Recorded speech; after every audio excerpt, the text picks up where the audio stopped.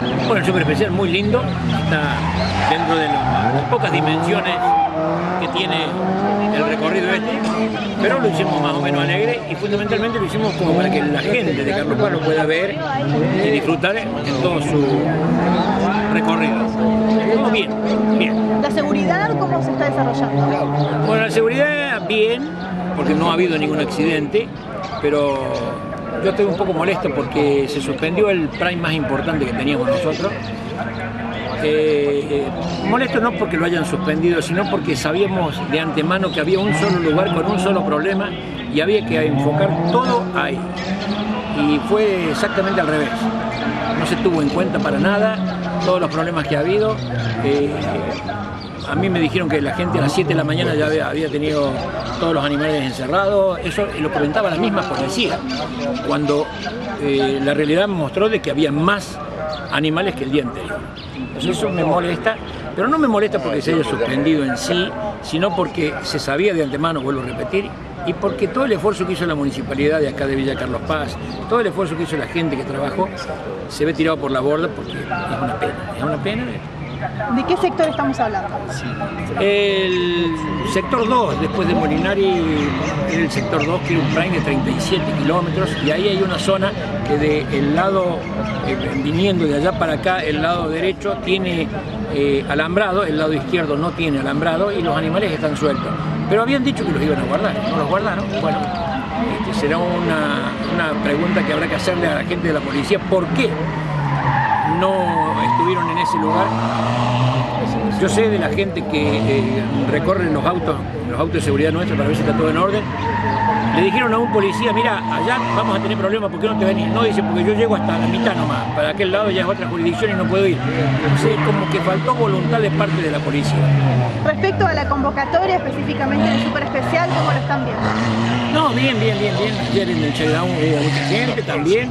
Este, ahora acá está, está lindo. Recordemos de que la gente también este, viene a Carlos Paz ya con una eh, cosa prevista. Creo que los que están acá son todos locales, porque eh, los estudiantes que están dando vueltas tienen un cronograma pactado y, bueno, por eso no están todos, pero hay buena cantidad de gente, está lindo. ¿Hay posibilidades que se vuelva a repetir, que ya quede establecido?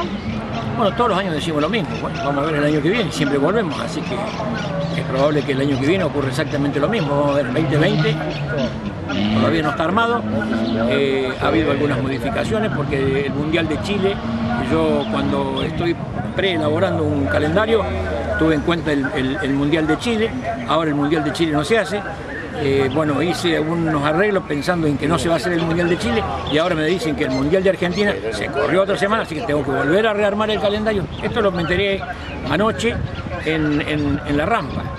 Este, entonces son todas cosas que uno no puede hablar de, del 2020 hasta que no tenga las cosas bien claritas y cómo vamos a poder trabajar.